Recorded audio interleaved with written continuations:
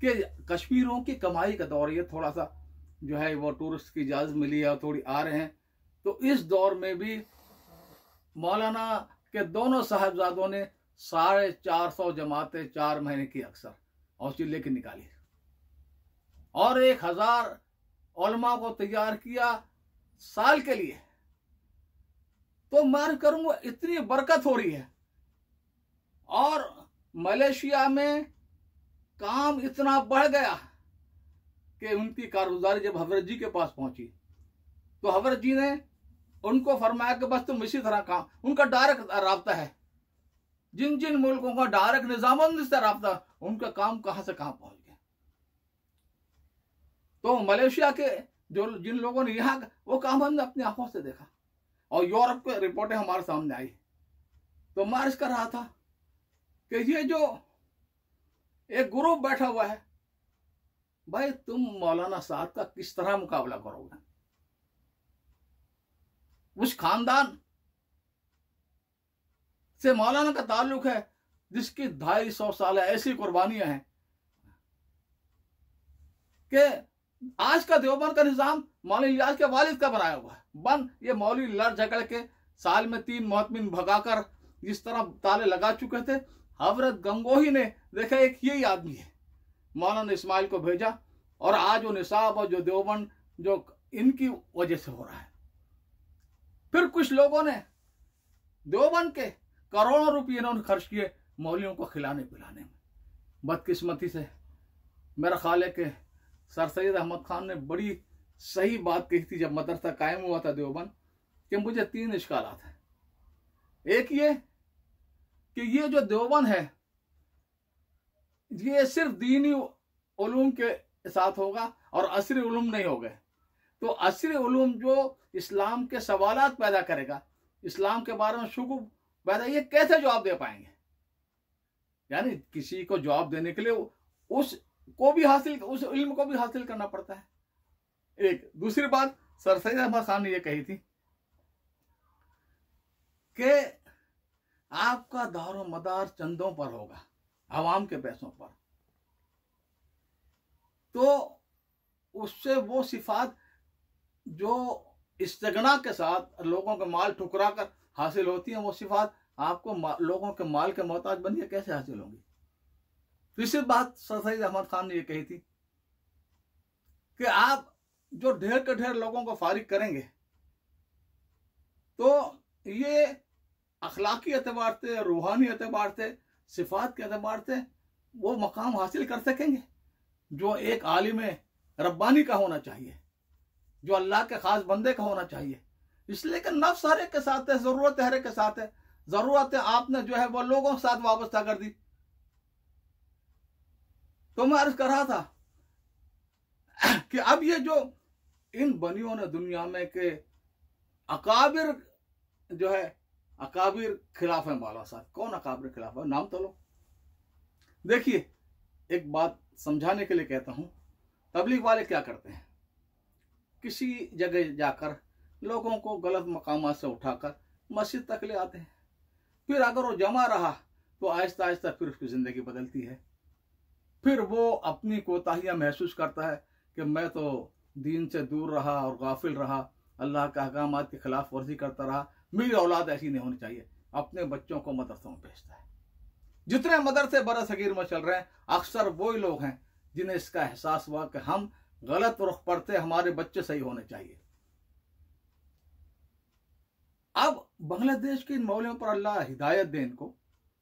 यानी वहाँ पर बातिल दावतें जाती, आती है हर किस्म की।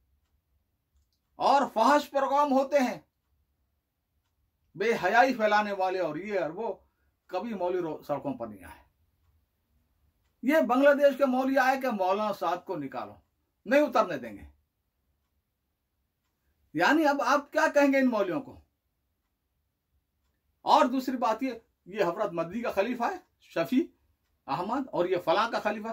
भाई खलीफे क्या चीज़ होते हैं? आखिरी दौर के तीन खुलफा। आखिरी दौर के हज़रत मदनी रहमत हज़रत रायपुरी और हज़रत शेखुल हदीस। अब आज जो बर सगीर में जो है, वो इन लोगों के खुलफा और खुलफा के खुलफा है। और ये तीनों हस्ते हैं, वो थी जो आखिरी सांस तक तबलीग की हिमायत में डटे रहे। और तबलीग के लिए। अब अगर कोई आदमी कहता मैं हज़रत मदनी का खलीफा हूँ और तबलीग के खिलाफत, उसको बर्दाश्त किया जा सकता है। वो खलीफा हो ही नहीं सकता हज़रत मदनी का। आखिरी सांस तक ये तीनों बुज़ुर्ग।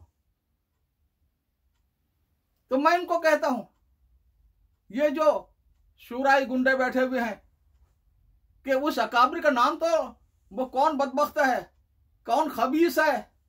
हाँ जो तबलीग के जैसे काम की मुखालफत कर रहा है। नाम तो उन्होंने उसका। हम देखें कौन है। अब दो आदमी ऊपर शक जाता है।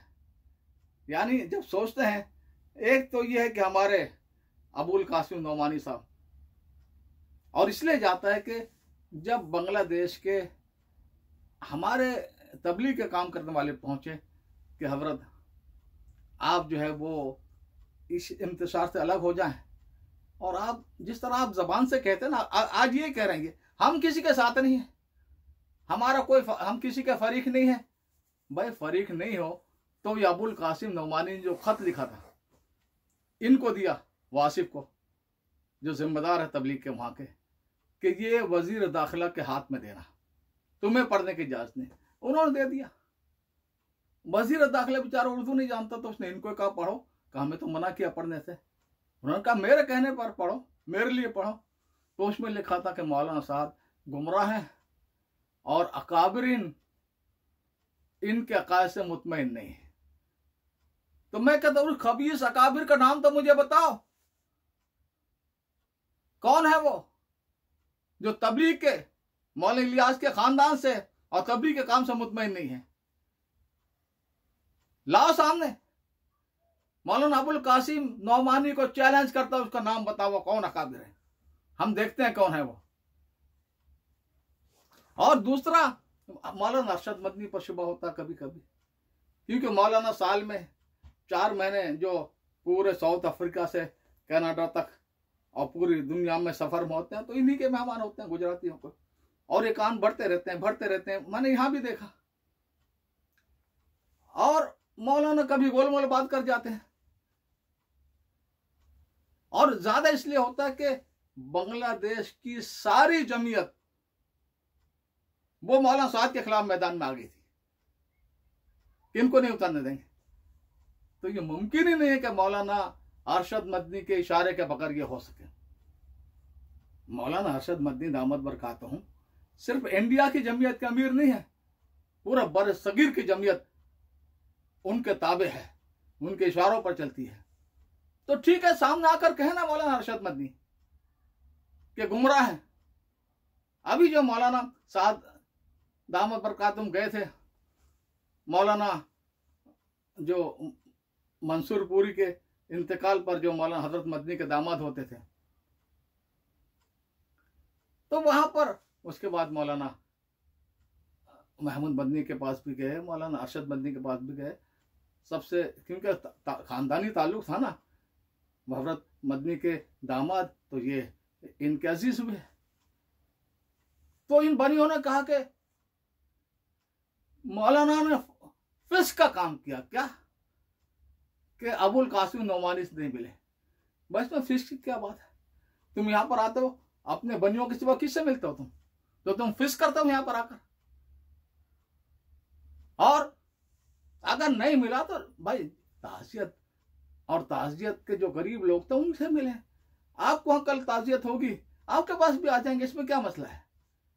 तो ये दो, मैं साफ़ कहता हूँ देवबंद अपने मौकफ को वाजे करे।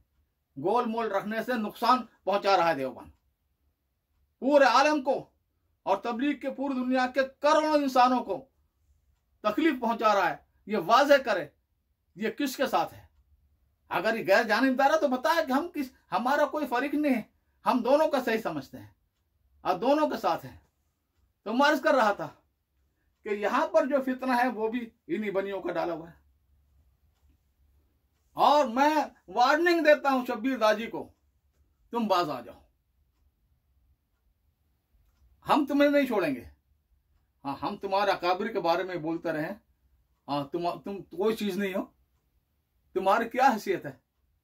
सिवाय माल इधर उधर करने के। तो मैं अर्ज़ कर रहा था कि ये ड्यूसबरी हमारा मरकज है, हम के साथ हैं।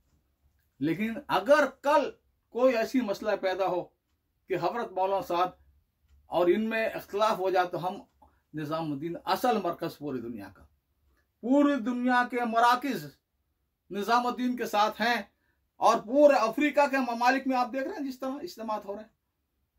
हर हफ़्ते में, और लाखों लोग जमा हो रहे हैं, और अल्लाह के रास्ते में निकल रहे हैं, सिर्फ़ इशारे पर मौलाना साहब के। इस तरह पर पूरी दुनिया में हत्या के जो, ये जो ममालिक हैं सेंट्रल एशिया के, जहाँ से इंशाला हज़रत महदी के साथ ही पैदा होंगे, जिसकी अलामत हजूर ने बयान की है। तो वो वो ममालिक भी अब वहाँ डायरेक्ट अफ़गानिस्तान से लेकर पूरा सेंट्रल एशिया निजामुद्दीन से जुड़ गया है। और हज़रत जी मौलाना साहब से भी मारिश करूँगा कि आप सहाबा के तस्करों को बढ़ाएँ, कुर्बानियों को बढ़ाएँ कि मौलाना इलियास रहमतुल्लाह ने बहुत कुछ कह दिया था इशारा पर, क्योंकि अपनी कौम सोई हुई थी। और दुश्मन जो था, चौकन्ना और बेदार था। तो बात सराहतन नहीं की जा सकती थी। तो मौलाना इलियास और मौलाना यूसुफ जो बात, जो जबान इस्तेमाल की उन्होंने, मसलन जहाद की जगह मेहनत मेहनत मेहनत मेहनत, क्योंकि जहाद के लफ्ज से हिंदुस्तान की कौम चौकन्ना होकर हमें कत्लेआम कर, शुरू कर देती हमारा। और लश्कर की जगह जमात जमात तबुक भेजी, जमात वहाँ भेजी, जमात हुनैन भेजी, जमात। और ये मौलाना लियास ये फरमाते थे कि मैं ये चाहता हूँ कि ऐसे लोग पैदा हों जो जान को हथेली पर लेकर फिरें कि कहाँ लगाना है मैंने। यानी शहादत का जज्बा, दान देने का जज्बा, जो जज्बा हज़रत मेहदी पैदा करेंगे। जो आज हमास में नज़र आता है, तालिबान में नज़र आता है।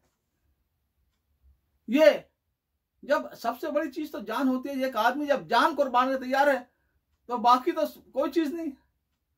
ऐसे लोग पैदा करना है।